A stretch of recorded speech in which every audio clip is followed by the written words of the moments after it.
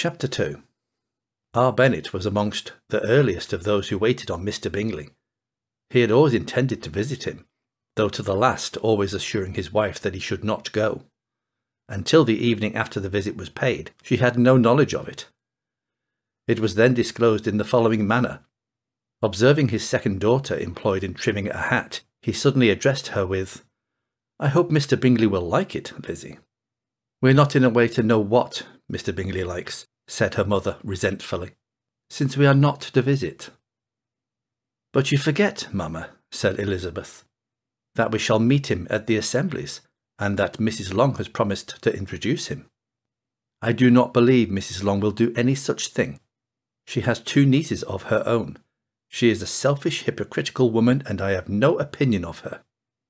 No more have I, said Mr. Bennet, and I am glad to find out that you do not depend on her serving you. Mrs. Bennet deigned not to make any reply, but unable to contain herself, began scolding one of her daughters. Don't keep coughing so, Kitty, for heaven's sake. Have a little compassion on my nerves. You tear them to pieces. Kitty has no discretion in her coughs, said her father. She times them ill.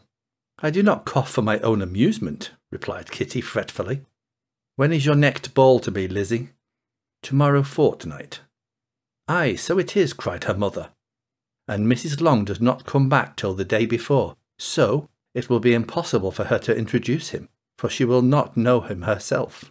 Then, my dear, you may have the advantage of your friend, and introduce Mr. Bingley to her. Impossible, Mr. Bennet, impossible. When I am not acquainted with him myself, how can you be so teasing? I honour your circumspection. A fortnight's acquaintance is certainly very little. One cannot know what a man really is by the end of a fortnight, but if we do not venture, somebody else will, and after all, Mrs. Long and her nieces must stand their chance, and therefore, as she will think it an act of kindness, if you decline the office, I will take it on myself. The girls stared at their father. Mrs. Bennet said only, Nonsense, nonsense. What can the meaning of that emphatic exclamation? cried he. Do you consider the forms of introduction and the stress that is laid on them as nonsense?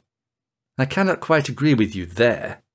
What say you, Mary? For you are a young lady of deep reflection. I know and read great books and make extracts. Mary wished to say something very sensible, but knew not how to. While Mary is adjusting her ideas, he continued, let us return to Mr. Bingley. I am sick of Mr. Bingley, cried his wife. I am sorry to hear that, but why did you not tell me so before? If I had known as much this morning, I would certainly not have called on him. It is very unlucky, but as I have actually paid the visit, we cannot escape the acquaintance now. The astonishment of the ladies was just what he wished, that of Mrs. Bennet perhaps surpassing the rest. Though when the first tumult of joy was over, she began to declare that it was what she had expected all the while.